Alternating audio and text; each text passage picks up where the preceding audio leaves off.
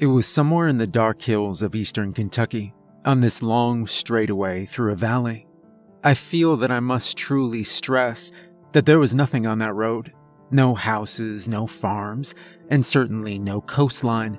That made the lighthouse even more striking when I saw it. It sat back in one of those meadows wrapped extending back into a mountain hollow. Even though the mid afternoon sun and the floating pollen was turning everything around me gold, that meadow and that lighthouse were already bathed in shade from the mountains. I almost drove right past it, if I'm honest. It was so out of place, it was like my brain didn't recognize that it was actually there at first, and if there had been anyone else on that road, they may well have rear ended me when I slammed my brakes, sending up dust and gravel as I skidded to a halt.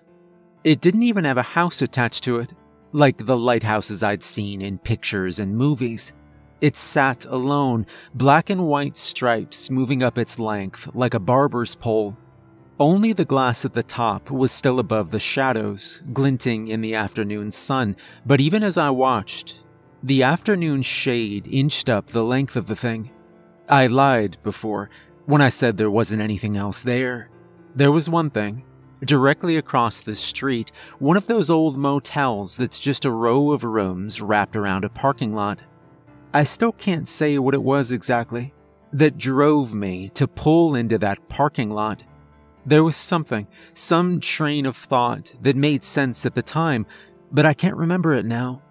I know I sat there for minutes, right in the middle of the road, looking at the lighthouse, but I can't remember. All I remember is that for some reason, stopping seemed like a good idea, and so I turned into that empty old parking lot. I half expected the place to be closed, but the neon sign buzzed red with vacancy, and the door to the office opened when I pushed it. The front of the office was made up of floor to ceiling windows that let in lots of natural light and heat.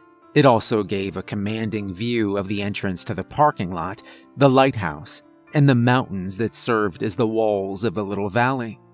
The woman that popped up from behind the counter was so ordinary looking that it actually circled back around to being almost extraordinary. I know that's strange to say, because how can ordinary also be strange? But it's one of those things where someone looks so ordinary that it crosses that line into the uncanny valley. She looked like the rough sketch of a master painter. Like there would be details filled in, wrinkles and smile lines, and moles and imperfections, but the painter just hadn't quite gotten there yet, or had consciously erased them. She wore a burgundy polo and her hair was blonde. I remember both of those things. But there wasn't much else. Even her eyes were this weird mix of blue and green with bits of brown around the iris. Her nose wasn't big or small, and neither were her lips. She was remarkably unremarkable. Can I help you? She asked, setting a book down on the counter. It was old and weathered, and the spine was bent like it had been read through dozens of times. I couldn't read the title because of how she'd laid it down. I'd like a room, please. She blinked like that surprised her. You want a room? Yeah. Is that all right? Her brain seemed to catch up to her, and she moved all at once as she said, Yes, of course. I just. Normally, it's people asking for change for the payphone, or something, or.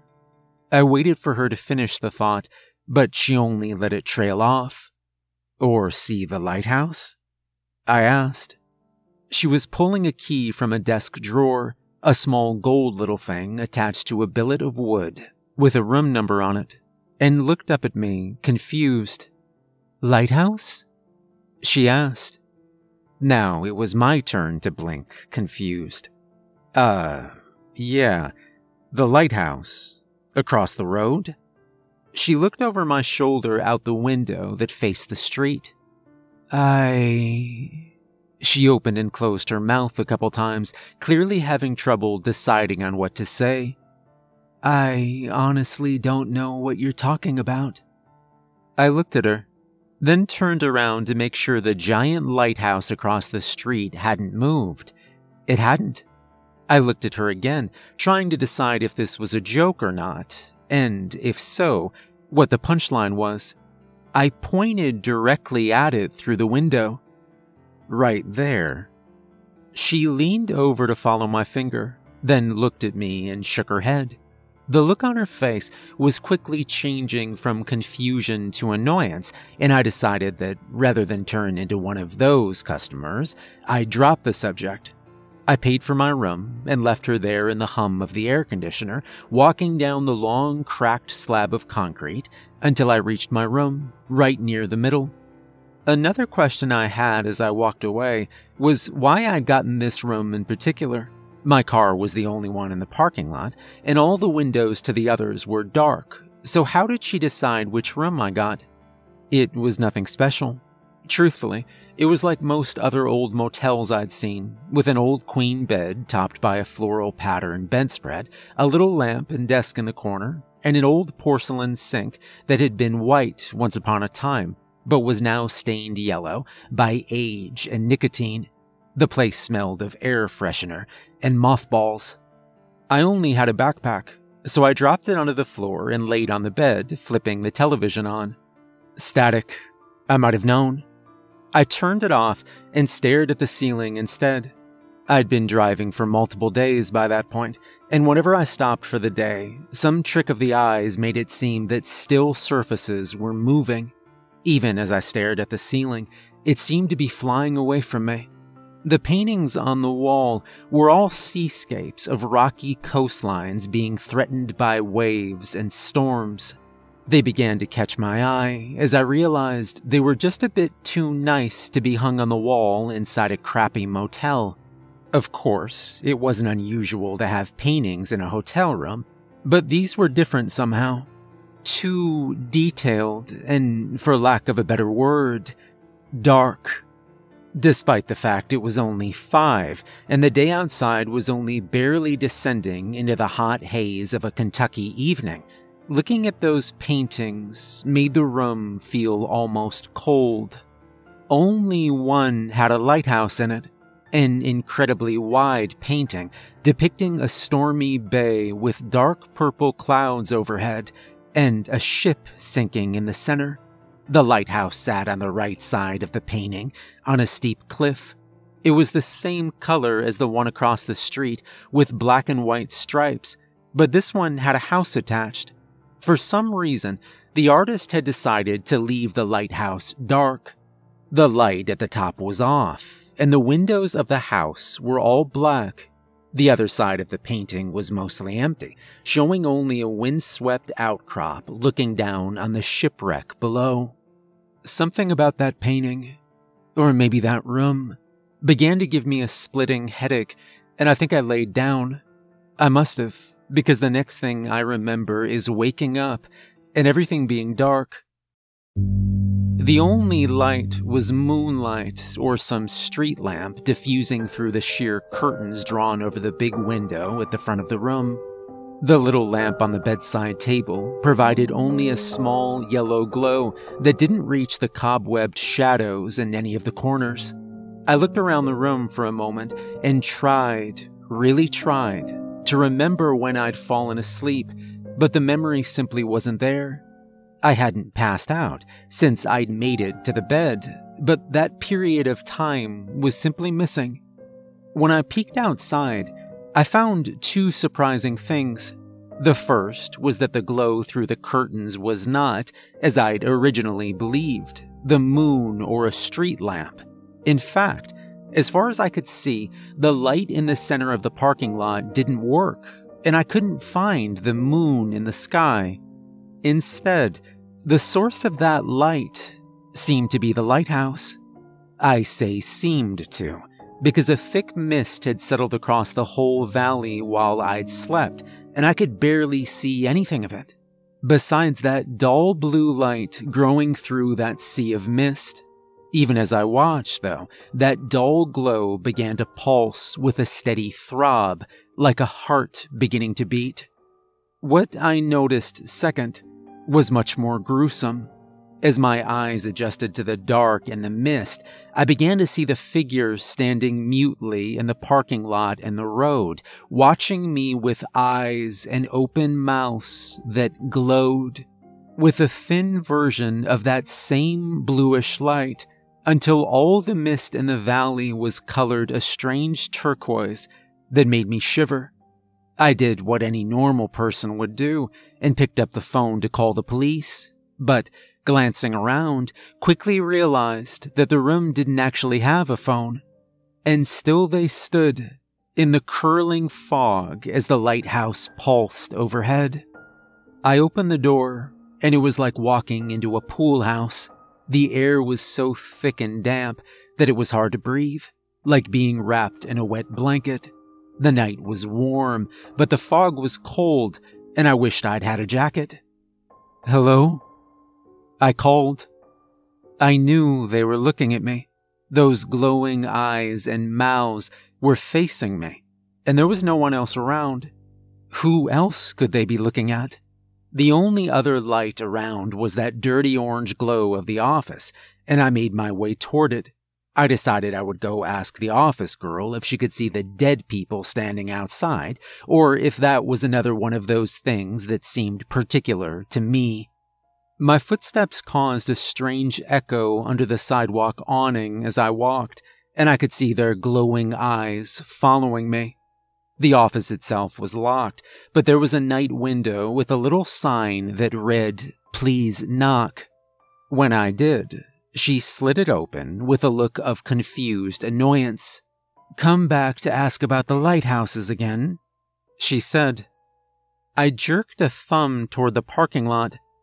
No, I came to ask about the weird dead people out in the parking lot this time. The put upon smart aleck look dropped off her face like a stone as she leaned through the window to look in the direction I was pointing. I remember having the thought that I should be more worried than I was, but I was vaguely sure this was all just a dream and I was going to wake up any minute. Even if it wasn't a dream, there was such a feeling of everything not being real that I couldn't muster up that fear. She could, though. Who the hell are they? She said. Her reaction is what broke that strange dreamlike blanket that had been laying over me and sent my heart into my throat. Fear is contagious, and I'd caught it. So you can see them. She shook her head in disbelief. Stop being a smartass, dude. Who the hell are those people? I. I was hoping you'd know, I said honestly. Hell no, she said, her voice was absolutely shaking as she looked at the mute figures once again. She unlocked the door to the office and yanked me through before slamming it closed and locking it. She slammed the window too, but pressed her cheek to the glass to stare, wide eyed, at the figures outside. I don't think they're coming any closer. You don't have any idea what they are? I asked. No, asshole. I don't know why a bunch of weird people with glowing eyes are standing outside my hotel. She took several quick, shallow breaths, then swallowed the panic that I could see trying to fight its way up her throat. Okay, cops. That's what you do here. You call the cops. We're going to call the cops. She looked at me, as if to make sure that was actually the correct response. I nodded. Cops?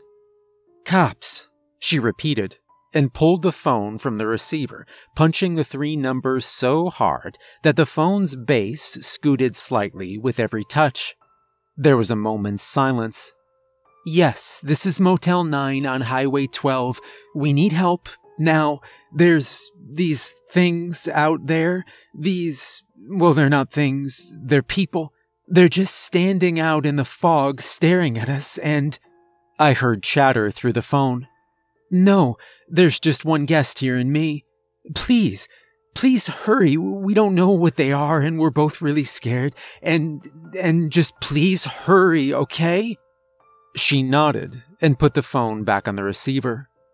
They said a car is on the way, she told me, It sounded strangely like she was trying to reassure me, but her hands were shaking and her breaths were shallow and ragged. I got a feeling that her telling me was only a way to reassure herself at this point. They didn't want to stay on the phone with you? I asked. She shook her head and sniffed. Tears welled up from the corners of her eyes, those multicolored eyes, and she dabbed at them quickly. Why would they? I was pretty sure they were supposed to. But I didn't think that now was the time to tell her that, so I shook my head. Never mind. Now we just have to wait, she said, and slid down onto the floor behind the counter, cradling her knees in front of her. They'll be here soon. She nodded to herself. I looked out the window at the figures in the fog. I had a feeling that no matter how soon the cops could be here, it wouldn't be soon enough to matter.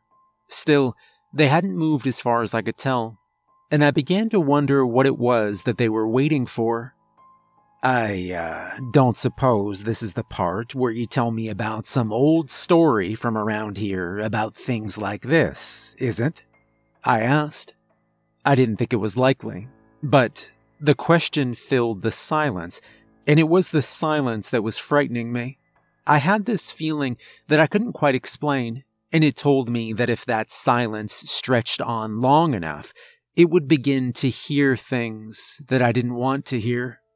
She looked up at me and shook her head. She reached up onto the desk, feeling around until her fingers grasped the book she'd left there and pulled it down, clutching it to her chest like some talisman. I pointed at the book I don't suppose that's some kind of ghost encyclopedia, is it? She shook her head again. Her eyes were wide like a child's and full of tears as she laid her forehead on her knees and began to sob. It was a sound beyond fear, beyond terror or anguish, that had passed through all those emotions to land at sheer hopelessness, and it wrenched at my heart. I sat down on the floor opposite her I considered reaching out, maybe putting a hand on her arm to give her some kind of human connection or comfort, but thought better of it. Come on now.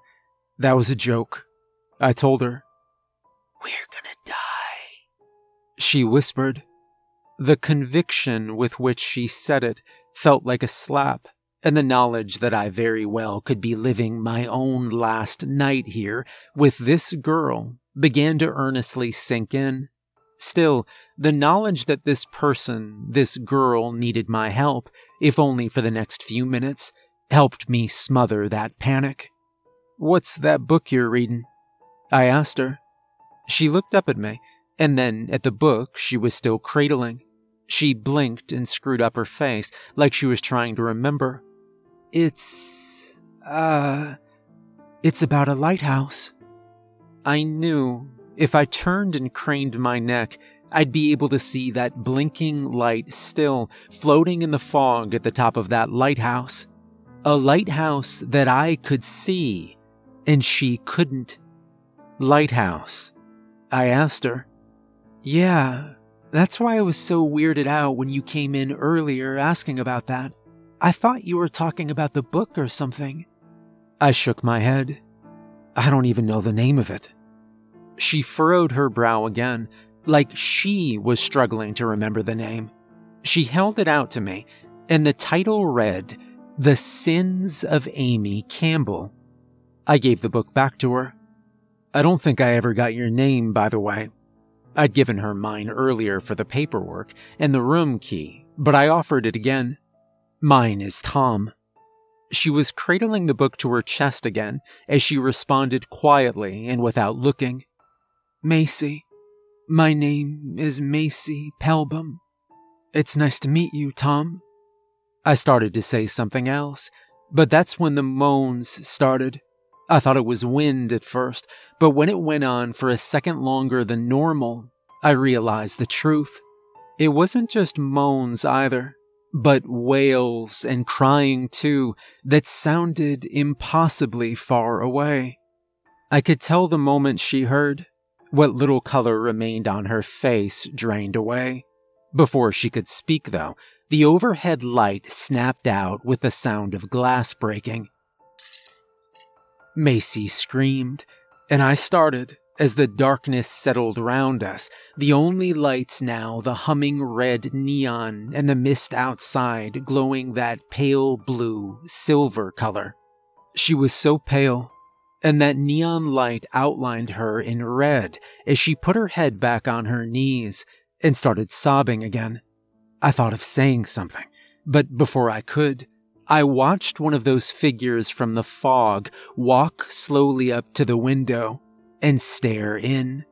He looked at her for a long moment before turning to me. I didn't move, and I don't think I even breathed as I waited there, watching.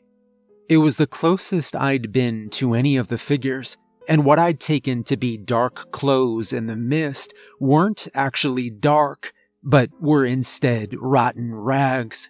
His might have once been an old fashioned coat with a high collar under a thick, wiry beard that reached almost to the remains of his belt. Close up, his eyes still glowed with that same eerie turquoise color. Macy, I said. It turned back to look at her as she sniffed and raised her head. What? she asked. Her eyes were puffy and bloodshot. She looked to the spot I was staring at and then back again, repeating her question. What? You don't. I started, but the figure standing at the window looked back to me again and shook his head slowly. Don't what? she asked. She turned to look at the spot where the figure stood again, and then back. Do you see something? Even as I watched, though, the figure turned and, like he'd forgotten what he came for, purposely ambled off back into the mist. Why can't you see the lighthouse? I asked her. The lighthouse? The one you were talking about when you got here? Yeah. Look, I thought you were messing with me when you got here, she said, wiping her eyes. I have no idea what you're talking about, though. There isn't a lighthouse here. I don't know what's going on, but I know there's not a lighthouse. I turned. Outside, the light was still blinking in the fog. I got that sense again that I'd wandered into some dream, or some part of the world that wasn't quite real. A gust of wind tugged at the mist shrouding those figures again and joined the faraway sounds of the moans. Do you hear that? She asked excitedly. I listened, but could hear nothing new over the moans. What is it? I asked. Sirens! They're here! We're all right. We're gonna be okay. Before I could say much of anything, she jumped to her feet and pressed her face to the window. I got up much more slowly, trying to listen. I don't hear anything, I told her. She ignored me, pressing her nose to the glass as she looked back and forth frantically. Why don't they have their lights on? I can't see them. I still don't hear them, I repeated. How can you not? They sound like they're right outside. I knew the answer even then, but I didn't know what to say. Right then, the blinking light that had marked the top of the lighthouse changed suddenly to a red and blue blinking light, like a police light. There, she said. They went into the field. Come on. No, just wait for a second and we'll but she was already running out the door. I lunged for her arm, and I watched it pass right through my hands, like more of the mist floating outside. Every part of me that touched her went cold and numb, like I'd submerged it into ice cold water. She ran through the parking lot, straight toward those waiting figures and that blue and red light flashing somewhere high overhead. She ran, and the mist and the night both swallowed her whole, closing behind her like water. I walked out into a night that smelled of wet asphalt and grass and cedar, and stood there for a moment, deciding whether to go after her or not. The moaning had stopped, and to this day, I don't think I've ever experienced a silence as deep as that one when I watched those figures all watching me. There were no bugs, no faraway sounds of cars or trains, nothing at all, until the screaming. I knew it was her. It wasn't even words, but just a loud, piercing, fear soaked scream that covered the valley like a blanket for those few seconds before it too receded like the tide into silence. The light blinking above the fog turned back into that blinking turquoise and then went steady again. I stood rooted to that spot for a long time, unsure what I'd seen or what I should do. I had a feeling that I couldn't call the police, not really anyway, and I didn't know what I would tell them if I did. Instead, I waited there in the night, hoping I'd think of something, but I didn't.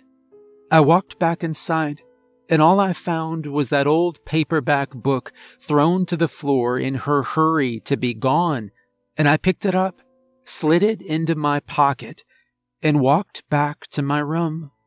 Inside, I drew the curtains closed, and those paintings again caught my attention. In the largest, I actually noticed something I hadn't before. On the far left of the painting, on the second cliffside that I'd thought was empty, there was a small figure painted there, watching the wreckage with a tiny lantern. I wasn't sure how I'd managed to miss the detail before, or why it caught my attention now, but I watched him, wondering what he must have seen and why he was put in the painting in the first place. Like before, though, the longer I watched, the more my head ached until I didn't even have the strength to peek through the curtains one last time before a dreamless and painful sleep took me. I woke up the next morning feeling like I'd been hit by a bus. The curtains were open again for some reason, and bright, harsh sunlight was filling the room. Something about the color the walls turned in that bright sun made me sick to my stomach, and I might have vomited if I'd had anything on my stomach to vomit up. When I dragged myself out of bed, I saw that I was still the only person in the place. My little car looked even smaller in that wide, empty parking lot. The clock radio by the bed read 1045, and I assumed that checkout was at 11.